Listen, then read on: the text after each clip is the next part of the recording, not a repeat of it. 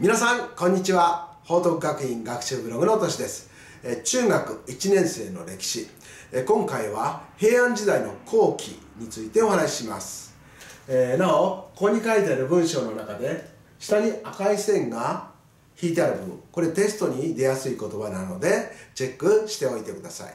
では始めます、ね、平安時代藤原氏が摂関政治を行っていた時地方では政治が乱れて生活できない農民が盗賊になったり国司が自分の利益を増やすために農民を苦しめたりしていました。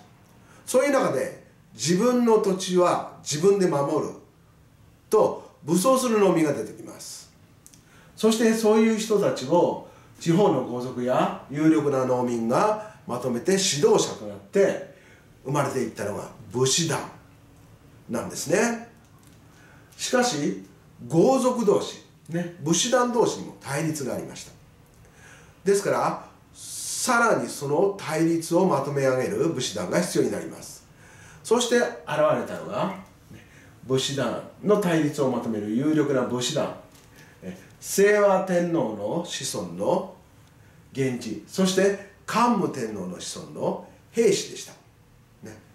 えー、源氏も兵士ももともとは都にいたんですけれど都では藤原氏が摂関政治で政治を独占しているので自分たちはその中で役職が上に行くことはできませんよね。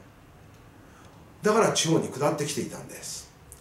でちなみにこの源氏の源とか兵士の平今で言ったら名字ですけれどこれは平安時代の初め、えー、皇族が増えるのを防ぐために、えー、皇族に源とか平という姓を与えて皇族を離れさせる。こういうことをやっていた。ですからこの源氏と平氏もともとは皇族だったということですね、えー、武士団は地方で起きた反乱を武力で解決していきます。ね。いろいろ活躍するんですね。そんな中で朝廷も武士団を頼るようになりました。ちなみに藤原氏も朝廷の警護をさせるために主に源氏を雇っています。後で出てくる陰性の時陰ではその警護に主に兵士を雇っていました。そんな中ね藤原氏の勢いが衰えてきます。なぜ衰えた？かというと、え藤原の頼道の娘に王子が生まれなかったことです。頼道は、えー、天皇の妃に娘をね奥さんにねしますよね。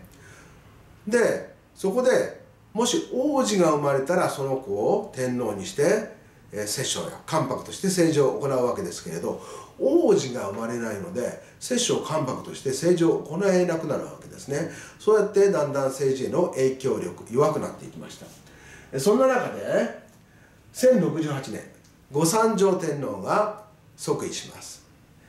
この御三条天皇というのは母方が藤原氏でない天皇です。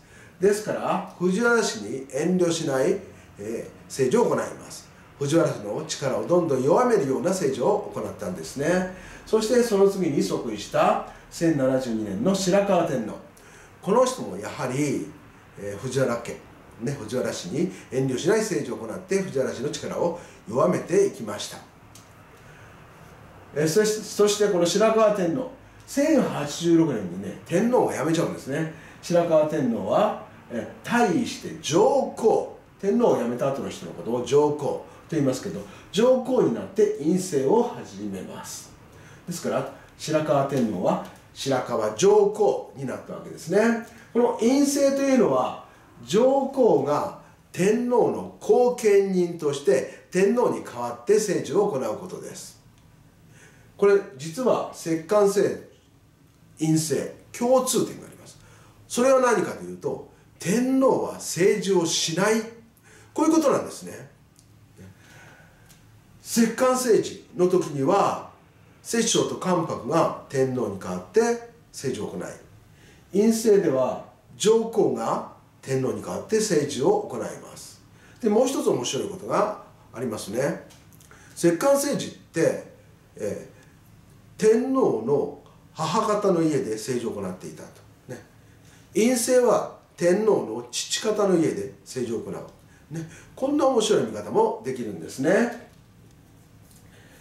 えー、そして1156年に天皇の跡継ぎをめぐる争いから対立から保元の乱が起きます。